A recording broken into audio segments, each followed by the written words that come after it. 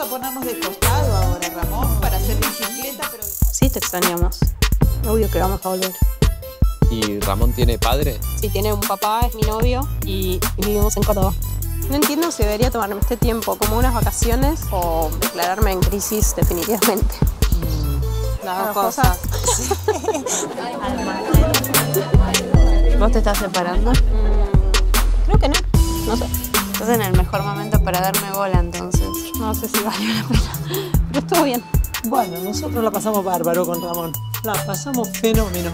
Bueno, así que se toca salir miércoles.